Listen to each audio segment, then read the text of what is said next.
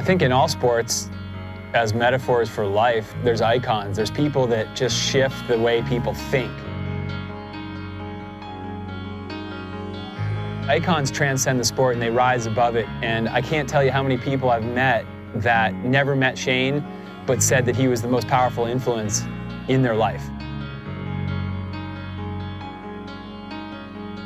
We're putting this earth to enjoy ourselves and have a good time and experience as many things as possible. And uh, he was out there doing that and inspiring people while he's out it. Shane was always like that guy that made skiing look so much fun. He did more to shape people's perception of what's possible in the sport of skiing than anyone else. Sad to say it, I only met him once, but he made me laugh right away. So I guess he kind of lived up to who I thought he was. A funny dude who loved skiing. Besides being a badass skier, incredible base jumper, most of all, he was just a really wonderful person.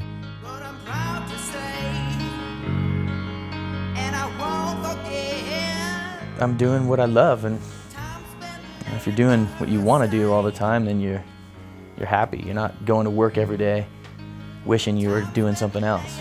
I get up and go to work every day, and I'm stoked. That does not suck.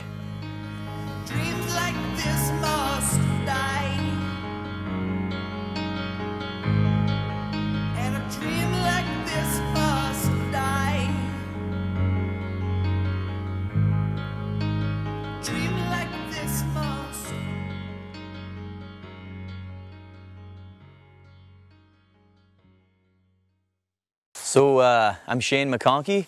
I was born in uh, Vancouver, Canada. It's about uh, four hours drive north of uh, Seattle. Esquiar extremo de los Estados Unidos. Shane me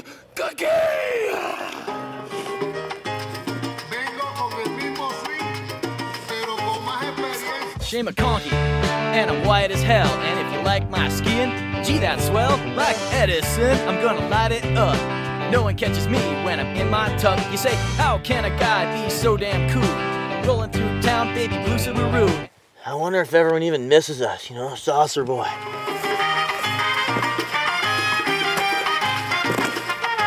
That's what I'm gonna do. I'm gonna go so off. I'm gonna.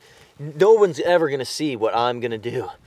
But uh, as soon as the weather clears, um, I'm gonna pull on my toque, eat some Canadian bacon, and uh, I'm keen to give her.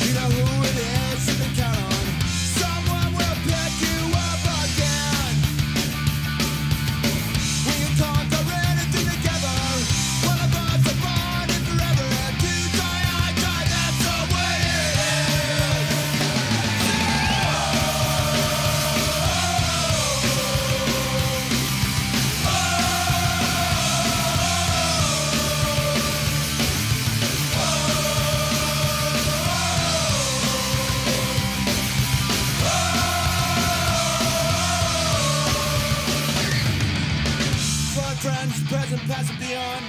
To all those who weren't with us too long, life